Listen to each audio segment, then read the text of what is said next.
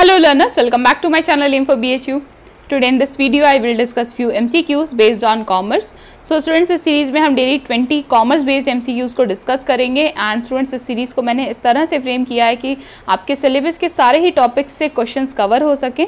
You all can use this series for revision purpose and students this is a M based video so again I will before starting the video I will suggest you the same thing that her question का answer मेरे बताने से पहले आप video को pause करके अपना response उस पर्टिकुलर क्वेश्चन के लिए नोट कर लीजिएगा।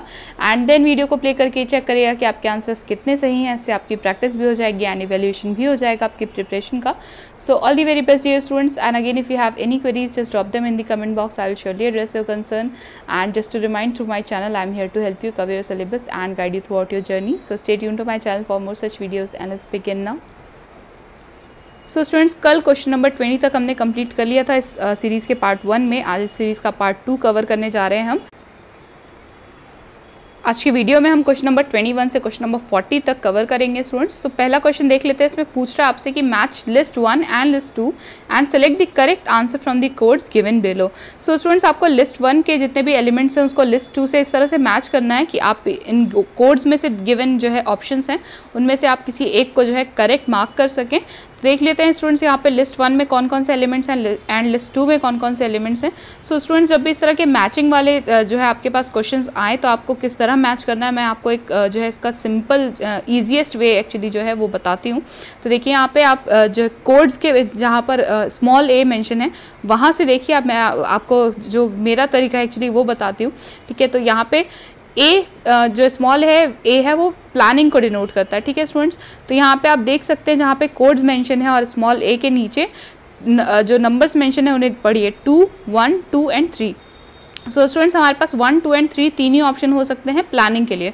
तो प्लानिंग हमें पता है कि ना ट्रेनिंग से, ना इवेल्युएटिंग से रिलेट करता है, सिर्फ़ फोरकास्टिंग से रिलेट करता है। तो मैं इतना तो जानती हूँ कि प्लानिंग सिर्फ़ फोरकास्टिंग के ही साथ जो है कोड हो सकता है, ठीक है? या मैच हो सकता है। तो प्लानिंग को फोरकास्टिंग से मैच करने के लिए हमारे पास कौन कौन से ऑप्शन हैं? देखिए, सिर्फ़ option number A and option number C में जो है स्मॉल ए के सामने टू मेंशन है, यानी कि हमारे लिए दो ही ऑप्शंस रेलिवेंट हैं, बाकी बी और डी को हम सीधे सीधे एलिमिनेट कर सकते हैं। इसी तरह से जब जब भी स्टूडेंट्स अगर आपके पास ये मैचिंग वाला जो क्वेश्चन होता है ना, इसमें सबसे पहले आप किसी एक ही एलिमेंट को पकड़ के अगर आप जो है मैच करने की कोशिश करेंगे तो आप एटलीस्ट एक एलिमेंट ऑप्शन को जो है एलिमिनेट कर पाएँगे। तो यहाँ पर हमारे दो ऑप्शन एलिमिनेट होते हैं बी एंड डी इसे हम हटा देते हैं।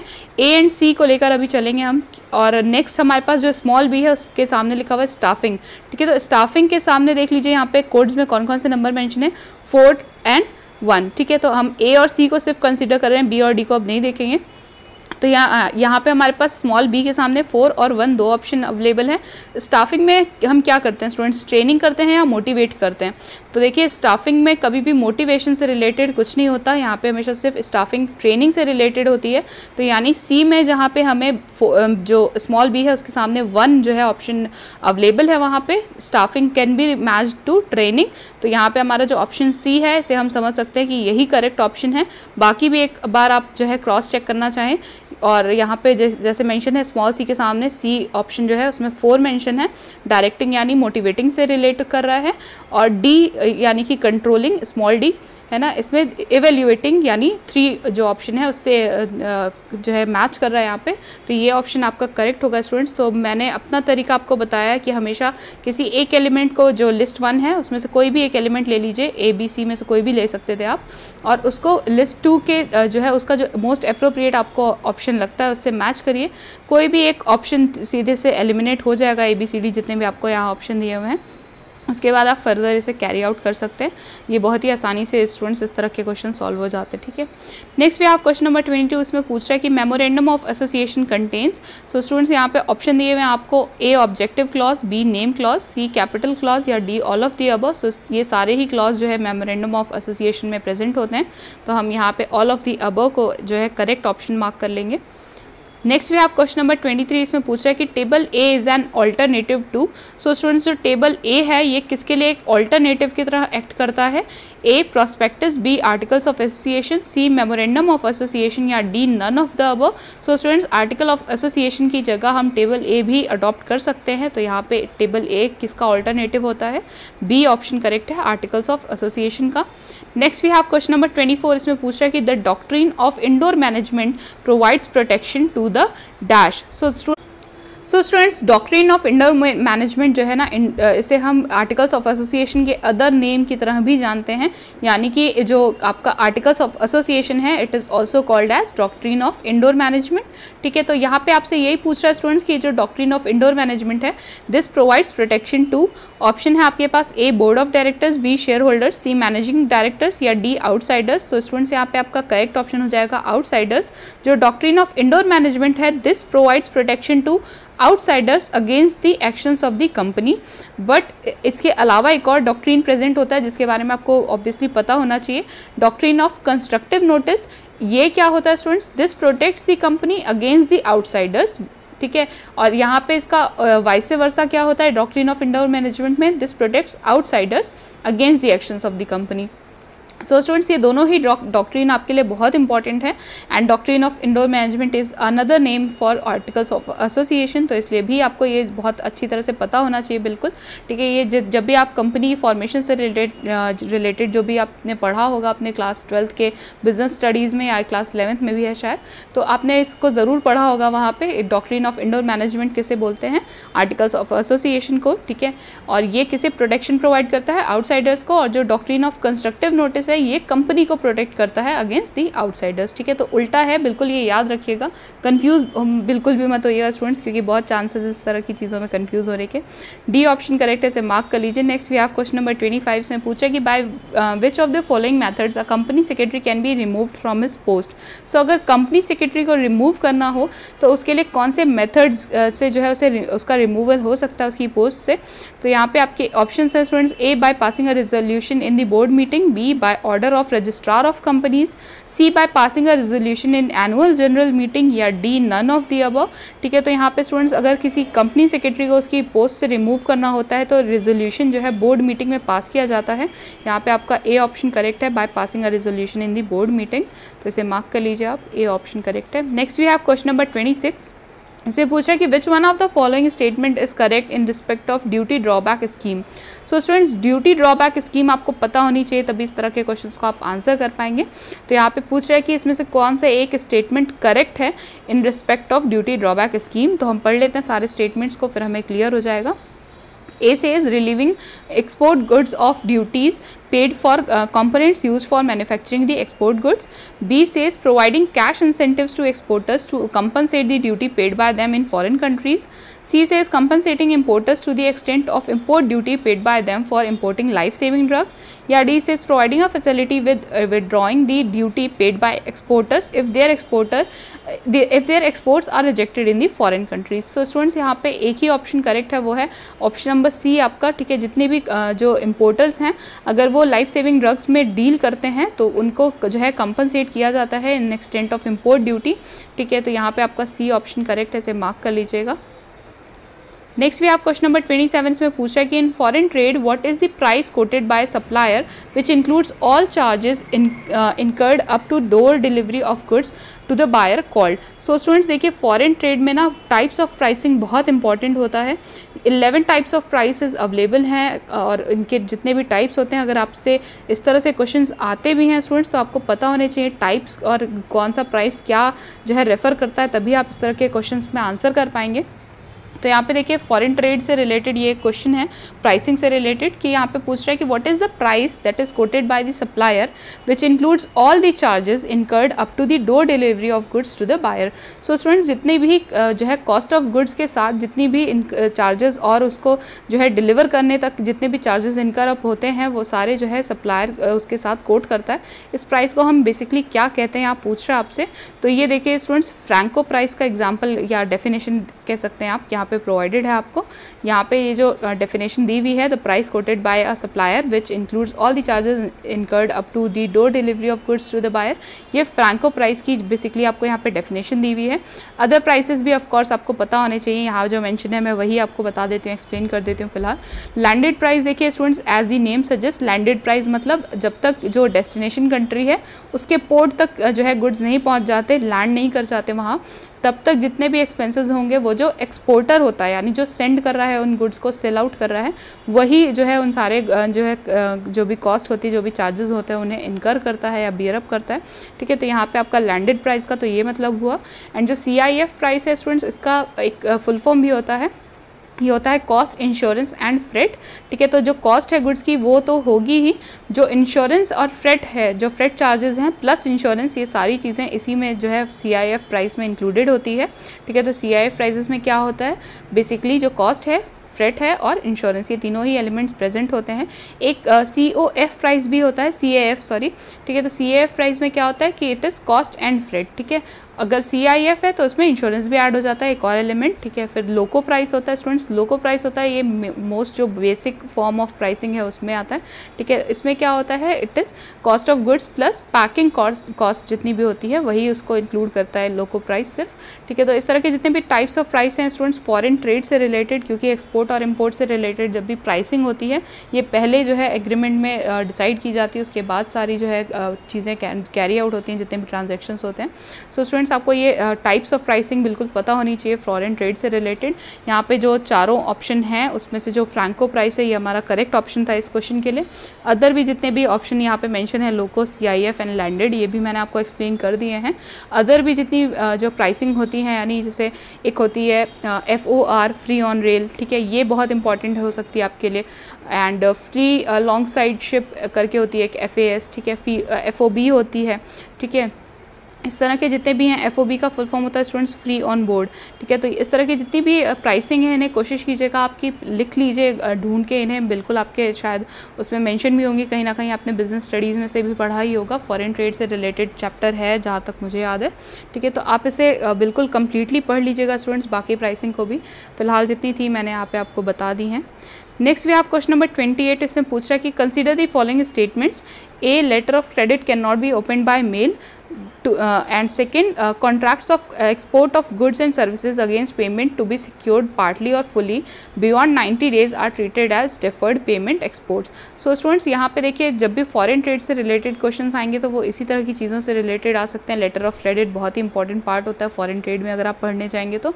एंड यहाँ पे जो अदर जो स्टेटमेंट है हमें इन दोनों ही स्टेटमेंट्स को पढ़ के ये बताना है कि इन दोनों में से कौन सा करेक्ट है।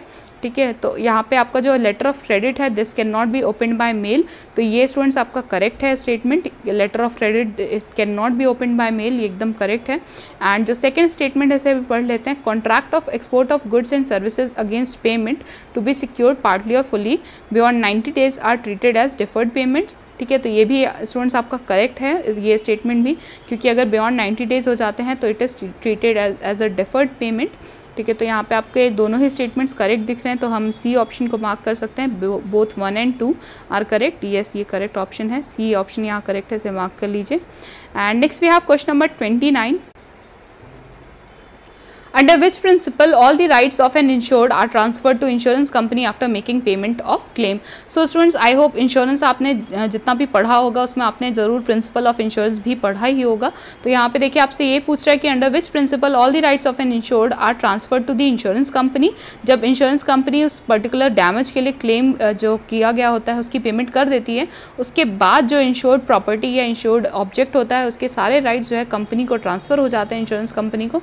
ये किस प्रिंसिपल प्रिंसिपल में होता है सो so, स्टूडेंट्स इस तरह के क्वेश्चन ज़रूर जो है पहले के आपके ईयर्स के पेपर में भी देखे गए हैं। इस तरह से पूछ लेता है आपसे कि प्रिंसिपल के बारे में बेसिकली क्वेश्चन में कोट कर दिया जाता है और आपसे पूछता है कि ऐसा केस किस प्रिंसिपल के साथ होता है ठीक है? तो यहाँ पे इसी तरह का क्वेश्चन आपको फ्रेम आउट करके दिया हुआ है।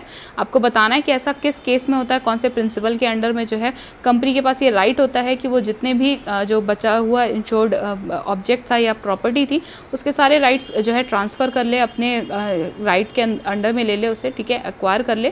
तो ये कब होता है स्टूडेंट्स ये सब्रोगेशन का पार्ट है स्टूडेंट्स ये जो आपका प्रिंसिपल ऑफ़ सब्रोगेशन होता है, उसकी वजह से जो कंपनी होती है insurance company it gets the right to acquire that insured property या insured object after the payment of claim has been made ठीक है तो यहाँ पे आपका सब्रोगेशन जो है करेक्ट ऑप्शन है स्टूडेंट्स बाकी भी जो प्रिंसिपल ऑफ़ इंश्योरेंस है उन्हें एक बार अच्छी तरह से पढ़ लीजिएगा. कंफ्यूज मत होइएगा कि कुछ ऐसे भी प्रिंसिपल्स हैं जो आ, आपस में जो है बहुत कन्फ्यूजिंग है. बट अच्छी तरह से उन सबको आप पढ़ लेंगे तो अटमोस्ट गुड फेथ है और ये कॉन्ट्रीब्यूशन है एवरेज क्लॉज है और भी बहुत सारे होते हैं कॉज अप्रॉक्सिमा और ये सारी चीज़ें अगर आप पढ़ लेंगे ध्यान से तो इनसे अगर क्वेश्चन आते हैं तो आप बहुत ही आसानी से उन्हें आंसर कर पाएँगे. एंड नेक्स्ट क्वेश्चन भी इंश्योरेंस से रिलेटेड ही है देख लेते हैं इसमें क्या पूछा है? क्वेश्चन नंबर थर्टी में पूछ रहा है कि ना marine insurance when must the insurable interest exist so students जो इंश्योरेबल इंटरेस्ट होता है उसकी एग्जिस्टेंस कब ज़रूरी है? ये पूछ रहा है आपसे मरीन इंश्योरेंस के केस में। सो so, यहाँ ए ऑप्शन में है कि at the time of making contract B says at the time of loss of subject matter C says both at the time of making contract and at the time of loss of subject matter या D at the time of termination of the policy. So students यहाँ पे जब भी uh, कोई जो marine insurance के under में कोई जो शिप uh, या कार्गो या हल उसमें जो है इंश्योर्ड है अगर उसकी uh, जो है at the time of loss of subject matter उस टाइम में अगर किसी पर्सन का इंश्योरेबल जो इंटरेस्ट है वो एग्जिस्ट करता है तभी वो उस तरह का क्लेम जो है कर पाएगा उसके डैमेज से रिलेटेड अगर नहीं है तो वो क्लेम भी नहीं कर सकता वो पर्सन तो यहाँ पे at the time time of loss of subject matter ये आपका करेक्ट ऑप्शन होगा स्टूडेंट्स इसे मार्क कर लीजिए बी करेक्ट है। And next we have question number thirty one इसमें पूछ रहा है कि Henry Fayol is known for so students हम सब जानते हैं कि हेनरी फायल के कॉन्ट्रीब्यूशन जो है हमने हमेशा प्रिंसिपल ऑफ़ मैनेजमेंट से रिलेटेड रिलेटेड जो है पढ़े हैं। तो यहाँ पे आपका डी ऑप्शन करेक्ट होगा प्रिंसिपल्स ऑफ़ मैनेजमेंट करेक्ट है, इसे मार्क कर लीजिए। And next we have question number thirty two इसमें पूछा कि unity of command employees having not more than one dash so students unity of command के बारे में जो है आपसे पूछ रहा है कि unity of command employees what ठीक है having not more than one तो स्टूडेंट्स यहाँ पे आपको इस डैश को फिलअप करना है यूजिंग दी ऑप्शंस गिवन तो यहाँ पे A says subordinate B says friend C says boss या D says unit so students अगर ये यूनिटी ऑफ़ डायरेक्शन होता तो आपका आंसर जो है जो है कुछ और ही हो सकता था बट यूनिटी ऑफ़ कमांड जो है, इसके बारे में अगर आप देखें तो यूनिटी ऑफ़ कमांड का हमेशा ये मतलब होता है that one subordinate should receive orders from one superior only तो इसका क्या मतलब हुआ कि इसके लिए सिर्फ़ एक बॉस होना चाहिए. तो यहाँ पर आपका सी ऑप्शन करेक्ट है, इसे मार्क कर लीजिए. That it unity of command employees having not more than one boss तो स्टूडेंट्स यूनिटी ऑफ़ कमांड में यूनिटी का तो यही मतलब ये है कि यूनिट दैट इज़ वन ठीक है तो यहाँ पे आपका बॉस करेक्ट ऑप्शन होगा, इसे मार्क कर लीजिए. And next we have X and Y theory of motivation has been propounded by so question number thirty three में आपसे पूछ रहा है कि जो X and Y theory of motivation है, इसे किसने जो है ढूंढा था या प्रोपाउंड किया था? तो यहाँ पे आपके ऑप्शन हैं students A says Douglas McGregor ठीक है B says Abraham Maslow C says William Ouchi और डी सेज फेडरिक हैर हर्सबर्ग ठीक है? तो हर्सबर्ग की थ्योरी है या आउची की है या मैस्लो की या मैग्रॉगर की तो आपको बिल्कुल ये पता होना चाहिए स्टूडेंट्स जितनी भी थ्योरी ऑफ़ मोटिवेशन है, इनसे रिलेटेड क्वेश्चन बड़ी आसानी से जो है आपसे पूछ लिए जाते हैं स्टूडेंट्स तो यहाँ पे जो X and Y theory of motivation है ऑफकोर्स आपको याद ही होगा कि ये मैग्रॉगर की थ्योरी थी, ठीक है? डगलस मैग्रॉगर ने इस थ्योरी को प्रोपाउंड किया था, ठीक है? तो एक्स एंड वाई थ्योरी किसकी थी? मोटिवेशन के लिए मैग्रॉगर की। आप ए ऑप्शन को करेक्ट है, इसे मार्क कर लीजिए। And next we have question number thirty four इसमें पूछ रहा है कि coordination has the following feature so students इसमें से कौन से ऐसे uh, जो ऑप्शन हैं वो कोऑर्डिनेशन uh, के फीचर जो है आपको शो कर रहे हैं यहाँ पे. तो A says it's continuous B says vertical organisation C says horizontal relationships या D says all of the above so ये सारे ही जो जो एलिमेंट्स हैं वो फीचर्स की तरह प्रेजेंट होते हैं कोऑर्डिनेशन में. तो यहाँ पे आपका जो करेक्ट ऑप्शन होगा वो है डी ऑल ऑफ़ दी अब इसे मार्क कर लीजिए. And next we have question number thirty five इसमें पूछ रहा है कि which one of the following is not a barrier in communication so students इसमें से कौन सा ऐसा एक क्वेश्चन जो एलिमेंट है वो बैरियर की तरह एक्ट नहीं करता कम्युनिकेशन के केस में? तो यहाँ पे आपके ऑप्शन हैं student A noise B affection C fear and distrust या डी परसेप्शन सो स्टूडेंट्स आपका ये जो करेक्ट ऑप्शन होगा, ये है परसेप्शन ठीक है अगर परसेप्शन प्रेजेंट है तो वो एज अ बैरियर एक्ट नहीं करता। अदर जितने भी ऑप्शन हैं ये सारे जो है बैरियर की तरह एक्ट करते हैं कम्युनिकेशन के केस में। सो so, स्टूडेंट्स ये क्वेश्चन जो है ना ये पर्टिकुलर क्वेश्चन मैंने कई जगह देखा है जहाँ पे भी कम्युनिकेशन उसका क्वेश्चन पर्टिकुलर एग्जामिनेशन के सिलेबस में होता है। तो ये क्वेश्चन तो कई जगह मतलब सिर्फ़ आपके बी एच कॉम एंट्रेंस की बात नहीं कर रही हूँ मैं और भी कई जगह पे देखा है मैंने। और बहुत सारे बच्चे सोचते हैं कि अफेक्शन जो है कभी भी बैरियर की तरह काम नहीं कर सकता तो लोग अफेक्शन को टिक कर देते हैं। जबकि स्टूडेंट्स अफेक्शन जो है एज अ बैरियर एक्ट कर सकता है। अगर आप किसी से, आपका बहुत अफेक्शन होगा तो आप उस पर्सन की बात को जो है जजमेंटल होकर उसकी बात सुने। तो स्टूडेंट्स ये जो है अफेक्शन बिल्कुल भी करेक्ट ऑप्शन नहीं है। अफेक्शन एज अ बैरियर जो है एक्ट कर सकता है। तो यहाँ पे आपका जो करेक्ट ऑप्शन होगा, वो है डी परसेप्शन परसेप्शन कभी भी बैरियर की तरह एक्ट नहीं करता। तो यहाँ पे आपका डी ऑप्शन करेक्ट है, इसे मार्क कर लीजिए। Moving on to the next question question number thirty a company can reissue its forfeited shares आपसे पूछ रहे स्टूडेंट्स की जो कंपनी के जितने भी फोरफिटेड शेयर्स होते हैं अगर कंपनी से री इशू कर रही है तो वो क्या उसे प्रीमियम पे या फेस वैल्यू या डिस्काउंट किस पे इशू कर सकती है? सो so, स्टूडेंट्स ऐसा कोई रूल नहीं है कंपनी के फोरफिटेड शेयर्स को री इशू करते वक्त कि उन्हें प्रीमियम या फेस या डिस्काउंट पे ही वो इशू कर सकते हैं तो किसी पे भी कर सकते हैं तो ऑल ऑफ़ दी अबो यहाँ पे करेक्ट होगा। The company can uh, reissue its forfeited share at premium और एट फेस वैल्यू और at discount as well so यहाँ पे आपका डी ऑप्शन करेक्ट है ऑल ऑफ़ दी अबव इसे मार्क कर लीजिए. And next we have question number thirty seven इसमें पूछा कि which one of the following is an example of capital expenditure so students ये भी एक बड़ा सा बड़ा कॉमन सा क्वेश्चन है कैपिटल एक्सपेंडिचर या रेवेन्यू एक्सपेंडिचर से रिलेटेड इस तरह के एग्जाम्पल्स देकर आपसे ऑप्शन में पूछ लिया जाता है कि इसमें से कौन सा एक कैपिटल एक्सपेंडिचर है या कौन सा एक कैपिटल एक्सपेंडिचर नहीं है, इस तरह के क्वेश्चन बहुत आते हैं. तो यहाँ पे आपका जो ऑप्शन है, पढ़ लेते हैं पहले इन्हें। ऑप्शंस में हमें दे रखा है, एक A says insurance premium B says taxes and legal expenses C says depreciation या D says custom duty on import of machinery so students जो कैपिटल नेचर का एक एक्सपेंडिचर यहाँ पे दिख रहा है, वो है सिर्फ़ custom duty on import of machinery so so, यहाँ पे आपका डी ऑप्शन करेक्ट है। अदर जितने भी एक्सपेंसेस uh, यहाँ पे मेंशन है insurance premium taxes and legal expenses या डेप्रिसिएशन ये सब रेवेन्यू नेचर के इंस्टूडेंट्स तो यहाँ पे कैपिटल एक्सपेंडिचर सिर्फ़ एक ही है। Custom duty on import of machinery so इसे आप मार्क कर लीजिए। डी ऑप्शन करेक्ट है। And next we have question number thirty eight इसमें पूछ रहा है स्टूडेंट्स कि आपको average profit of a firm given है नॉर्मल प्रॉफिट पता है, आपको यहाँ पे गुडविल निकाल की जो वैल्यू है वो जो है कैलकुलेट करनी है on the basis of three years of purchase of super profit ठीक है? तो स्टूडेंट्स ये आपके लिए होमवर्क है मेरे साइड से, ठीक है? न्यूमेरिकल्स अगर हम यहाँ पे अभी सॉल्व करेंगे तो बहुत टाइम लग जाएगा और वीडियो बहुत लंबा भी हो जाएगा। सो स्टूडेंट्स आई होप अगर आपको ये नहीं आपसे सॉल्व होता है तो आप मुझे बताइएगा ज़रूर। इससे मैंने सॉल्व किया और मुझे पता है कि ये बहुत ही ईजी सा क्वेश्चन आपसे बिल्कुल अच्छी तरह से सॉल्व भी हो जाएगा। जो भी फॉर्मूला है, सिर्फ़ उसमें पुट अप ही करना है। आपको सुपर प्रॉफिट के लिए थ्री ईयर्स परचेज दिया हुआ है। एंड एवरेज प्रॉफिट और नॉर्मल प्रॉफिट तो आपको बिल्कुल पता ही है कैसे कैलकुलेट करते हैं।